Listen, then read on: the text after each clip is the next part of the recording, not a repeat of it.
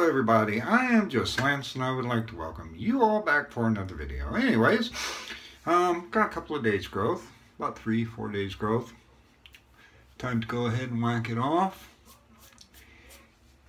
So, we're going to go ahead and we're going to do ourselves just uh, pretty much for the most part, good old RazoRock shave. The razor is the RazoRock quick change. If you didn't watch the last video, um, I went ahead. Uh, it was my birthday. Uh, my girlfriend asked me what I want for my birthday. I said RazoRock Game Changer 84P Jaws Open Comb Double-Edged Safety Razor. And she snuck in a little kit which had, and oh, and I also got a um, alum stick because Had no alum. But my girlfriend snuck in. Oh, there's my dog. My uh, girlfriend snuck in this kit that had the quick change here, which is, you know, just your basic butterfly twist open. Um, nice knurling, good thick knob on the bottom, TTO knob. And that came with a one moment, guys. Sorry about that, guys. Had to ask my girlfriend to let our dog in. She gets quite loud when she wants in. But anyways, the kit also came with a What the Puck container of the Black Label soap, which is a barbershop Tweezer. Smells really, really nice. Um, I'm not sure exactly. I think the one soap I'm using is based off of Floid Blue and it is this one, the Blue Barbershop, or Blue Label, however you want to put it, of the the Puck. It's great soap. You can get four, all four pucks for like 20 bucks. Um, the kit also came with a original style plus soft brush. I've got several of them. So I'm sending, you know, that one went to my friend Christian, or is going to my friend Christian anyways, um, but the brush I'm going to use is one I got from Dennis, which I got the soap from. And we'll top it off with the Blue Barbershop Splash. But the soap uh, brush, which I got from Dennis in that last shipment, I've used it once. Um, haven't used it on camera, and it is this one. Boom! RazoRock Hulk. Has a 34 millimeter plus soft knot. I mean, look at this thing. This thing is a beast. Um, it's a great head shaver brush. Anyways, let me take a drink of water.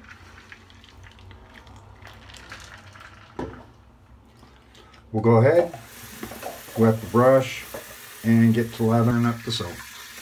I ended up putting my puck, I don't know, I can't remember if I mentioned, in my little blue lather bowl I got from this as well, or whatever that color is, with the little brush rest. And it fits perfect in there.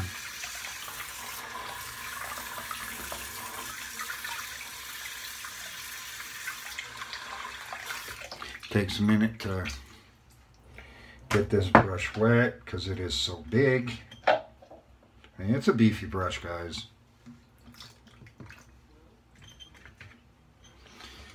Get a little water on the puck. And start loading the brush. Anyways, the weather's gotten quite nice here other day, uh, we had one heck of a rainstorm here. Massive amounts of thunder just poured down. It came down sheets actually. Uh, tonight's Friday. That happened back on Monday.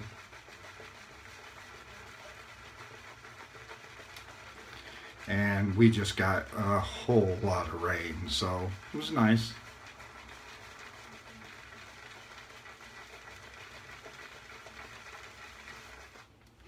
That's a good load.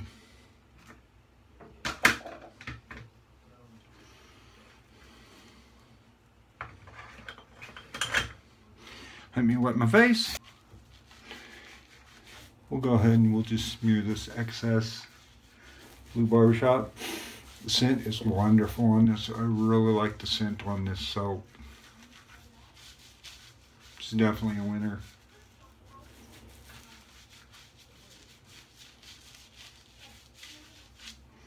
One moment. Dry my hands off.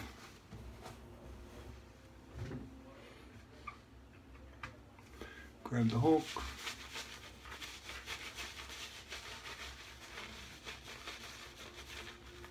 As you can see,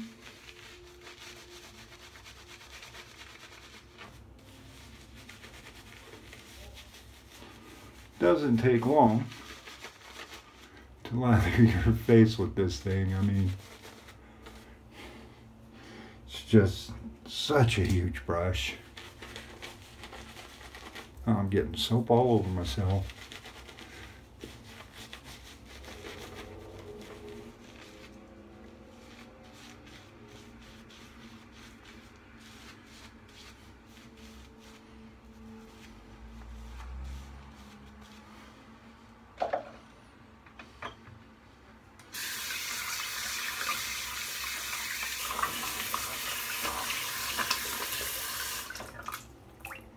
Sorry guys for not editing that out. Dry my hands. All right. One sec.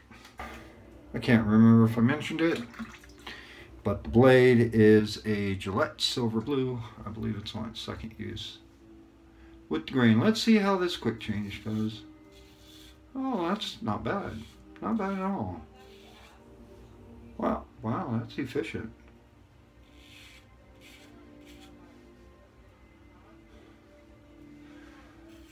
Smooth. Feels good.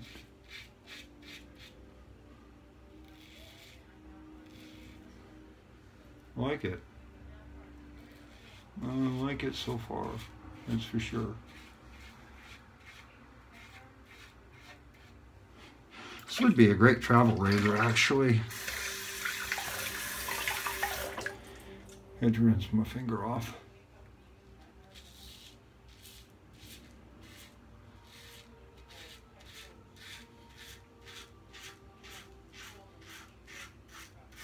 Not a bad amount of feedback.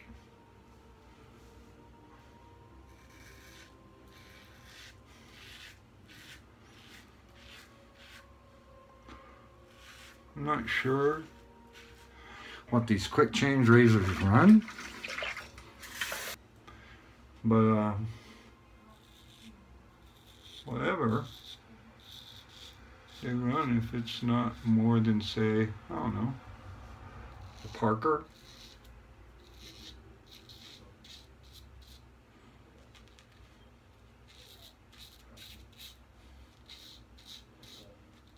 Then that would probably be a really good deal. Oh.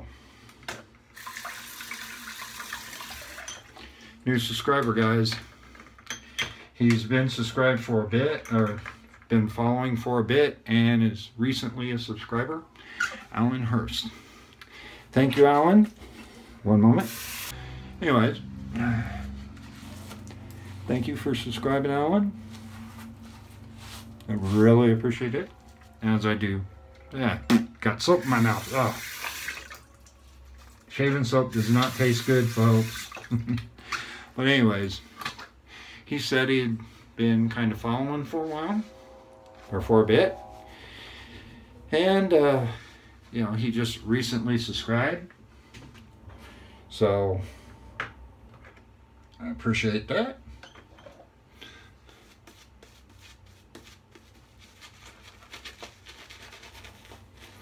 he made a Blazing Saddles reference.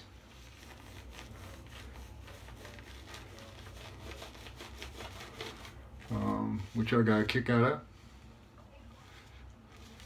Kind of sounded like he was calling me a little bit of an old fart, but it was all in good fun.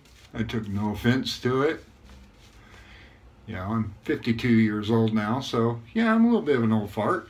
I'll admit it. But, you know, an old fart, but I still rock out to heavy metal. I love my heavy metal music. I really do.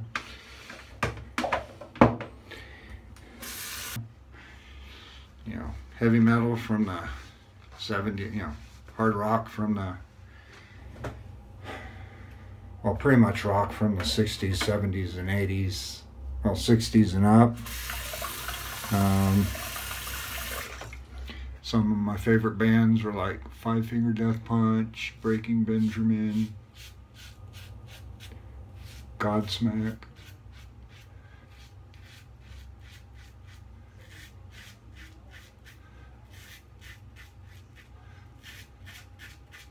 Linkin Park.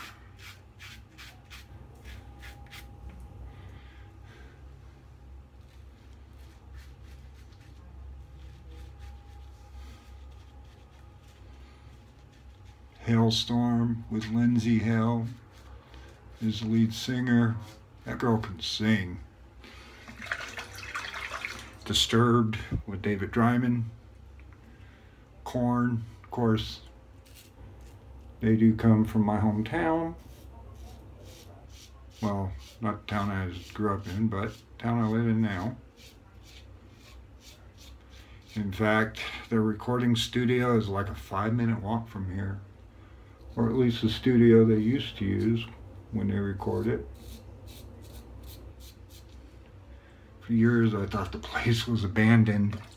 I didn't know until hmm, probably about a year ago that that was actually their studio.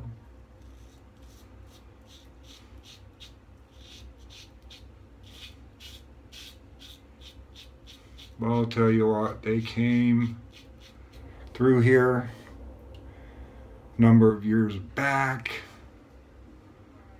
Um, they had a, it was touring with Rob Zombie and I forget who the other group was, Videodrone or something like that. And Videodrone was alright. The lead singer was a little odd, but it was alright. Um, and then Rob Zombie plays. Absolutely just blew the roof off the place. And then Korn takes the stage and absolutely sucked. Whoever set up their speaker system had so much bass pumping, you could barely hear the lead singer, Jonathan Davis. You could barely hear him. Um, you know, you could barely hear the drums and, you know, you could barely hear the guitar, lead guitar and all. It just, it was not a good, good setup. Um, eh, disappointed. Uh, me and my brother made a huge mistake because it had been years since either of us had really been to a concert. And we go ahead and we're like, we saw what, what the prices are, and it's all general admission was whatever. General admission was like 20 something bucks. I forget what it was. And we're like, oh, all right, we'll get general admission. It was a good second pass. I'm really, really happy with this razor. Um, so, anyways, we go in and we're down there on the floor and it it hit me and my brother dang near at the same time. We're like we're in the mosh pit. Uh-oh. And nobody had taken the stage yet so we're like well gotta make the best out of this. Just gotta make the best out of this. Um you know we paid for these tickets man big concert, Rob Zombie, Korn. Yeah, we got we you know we'll make the best of it. Well, us making the best of it wasn't the best for us, let's say, because I'll tell you what, when the music started, you know, we were in our 30s you know, mid 30s. And here we are surrounded by, you know, 18 against the grain. 15 to 18, you know, young folk, you know, in their 20s, not a lot of people in our age group, I imagine they was like, general admission, screw that. But, um,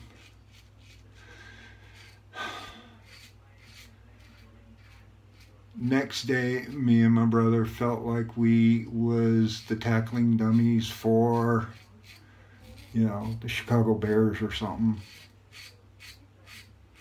Um, or like we went ahead and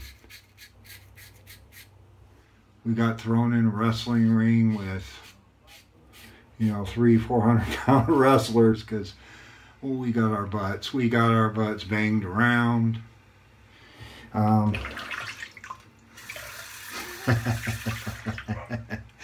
if you have been following my channel for a while, you know about my vision. And um, my right eye is prosthetic. And it comes out. I have an implant that's hooked up to the muscles and tendons that used to be hooked to the eye, so I can move it and uh, it's not like the old days where they just make a glass ball, paint it, and pop it in your skull. That was a good pass. That third pass, wow, third pass already. Woo!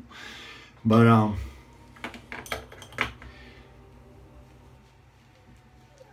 the first hit I take in the mosh pit, my eye shoots right out of my head, and I tell my brother, and he's like goes after it, and he's on the floor people are just kicking him and stomping on him. And I mean, he, he comes up and he'll, I got it. But anyways, I'm gonna go ahead and rinse off, and then we'll hit hit it with the alum. Wow, that was a good shave. Um, yeah, if um, you want a good, most likely considering it's RazoRock or Italian Barber slash RazoRock. If you want a good budget friendly option, get the um, the quick change. It's a nice, pretty decent razor. It's, I don't know, maybe mid aggression.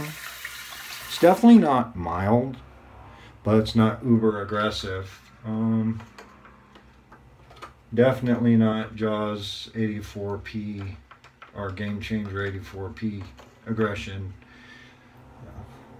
I don't know. Ooh, a little bit of sting. I pressed a little hard right there. Um, I don't know, maybe a little bit above mm, vintage red tip.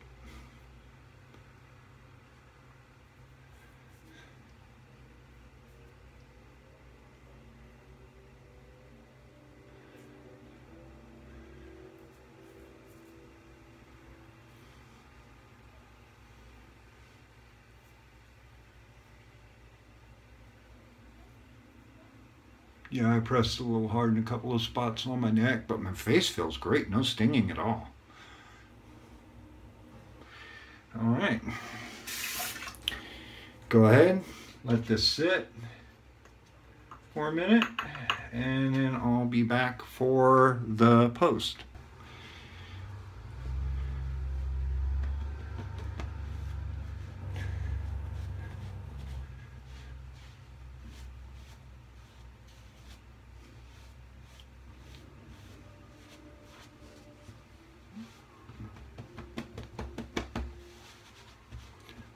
That's nice. That's really nice. All right, let's go ahead and let's do the touch test. Baby butt smooth up on the cheeks. Jawline is really good. Um, shade really nice down along the goatee. Um,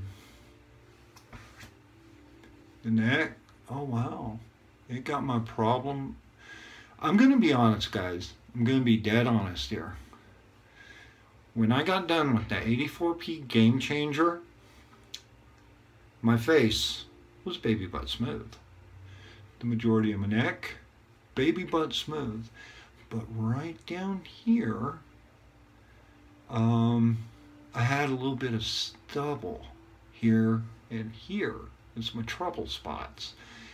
Um, maybe I didn't quite hit it at the right angle, but that quick change, yeah, uh, I got it really, really close. I mean, I'd say 99.5.67% BBS and the Game Changer Jaws was about 90% BBS. So yeah, that's a really, really efficient little razor. I'm really happy with that. Wow. Anyways, so anyways, back to my story. So me and my brother, we of course got our butts. Hang on, guys. Ended up dropping a key. But anyways, um, that goes to my rollaway, um, where I keep my medication on my Millennium Falcon thing, uh, keyring. Um, but anyways, so the next day, me and my brother was just absolutely miserable. Key Dickinson's Witch Hazel. From that concert, we had a blast. Um, we couldn't hear that good. The next day, I mean, um, our ears were kind of ringing for pretty much the rest of the night, and we wasn't quite clearing, not clearing, hearing clearly. We weren't clearing clearly. Um, we weren't hearing quite clearly, but we had a blast. But there was one incident where me and my brother, we had to go into protector mode because I see, at the time I could get around without even needing a white cane. So I see this big, tall guy come down into the crowd. And he's got like a, um, we'll use Stirling's Arcadia aftershave balm. But he comes down with a kid, probably eight years old, into the middle of a mosh pit. And, you know, me and my brother, we were just pretty much just, you know, not getting violent or anything in it. We were just like kind of nudging people away from us and, you know, just kind of bouncing people around a little bit. But I see that kid and one moment and this little kid looked absolutely horrified. Um, which I don't blame him. There were some, there were some big, big, big dudes in that mosh pit. Um, kind of guys that when they're moshing, you just stay out of the way or you're gonna get slammed or something. But I yelled at my brother, Curtis, Curtis hey, what? I'm like, I'm next to this kid, and I'm like telling the kid, don't worry, don't worry, kid, we got you. Oh, come here. He comes over, and I'm all, some dude just left this kid. So my brother tells the kid, stay between us. And me and my brother was basically back to back, sitting there pushing people away. I mean, some people, they wanted to try and mosh on us. So, you know, me and my brother, we, you know, threw a couple of stiff arm, a couple of clotheslines, and you know, and and one guy wouldn't wouldn't stop, and I can't remember. It was either me or my brother had to punch him in the jaw for him to back off. And then all of a sudden, like eight or ten security guards come wading through the thing, and they surround the kid and they hustle him out of there. And we're like, I, I was I was pissed. I was pissed for that guy for uh, at that guy. I mean, you don't do that to a little kid. You don't take them into the middle of a heavy metal concert mosh pit and sit there and go, "Hey, just stay here and take off." But that was my big heavy metal Korn concert adventure. All right, time for the aftershave. Oops.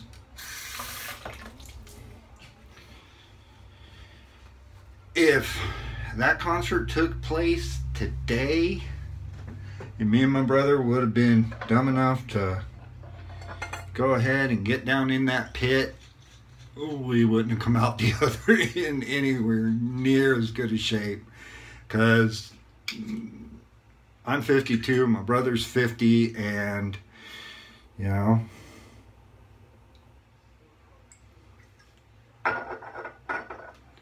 we ain't 1998 young anymore, or 97, whenever the hell that thing was.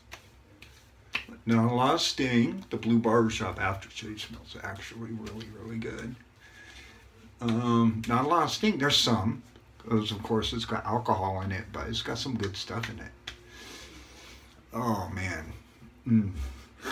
I'll wipe some into the goatee. Anyways, guys, that's the shave. Likes, comments, subscriptions, always appreciate it. Um, by the way, if you're still with me, thank you. Um, thank you, everybody, for the birthday wishes. If you need to reach me via email, my email address is in my About section. And I hope you all take it easy. Have a happy and safe Halloween, and I'll see all of you on the flip side of the blade. Or I should say, I hope you had a safe and happy Halloween. Anyways, I'll see all of you on the flip side of the blade. Bye-bye now.